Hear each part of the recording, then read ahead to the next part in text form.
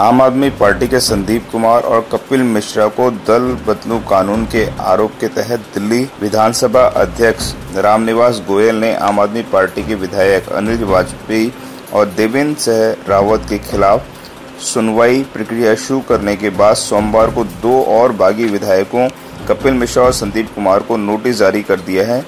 Notice में कहा गया है कि विधायकों ने कानून का उल्लंघन किया है। क्यों न इनकी सदस्यता रद्द कर दी जाए? इनसे 9 जुलाई तक जवाब देने को कहा गया है। दोनों विधायक पूर्व में केजरीवाल सरकार में मंत्री रहे हैं। कपिल मिश्रा करावल नगर से विधायक हैं, जबकि संदीप कुमार सुल्तानपुरी माजरा से विधायक हैं।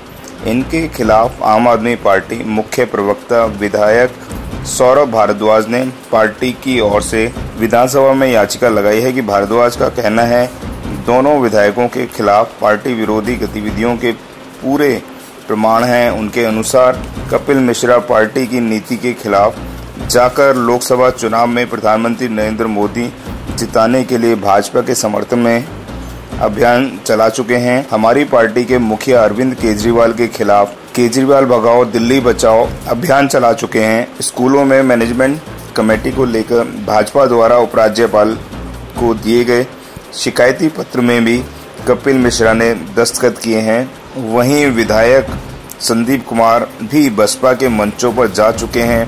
भारद्वाज का कहना है कि दूसरे दल के मंच पर जाना अपनी पार्टी नेता के, पार्टी नीतियों के आलोचना करना, पार्टी विरोधी गतिविधियों में आना, ये सब दल बदलू कानून के तहत आता है।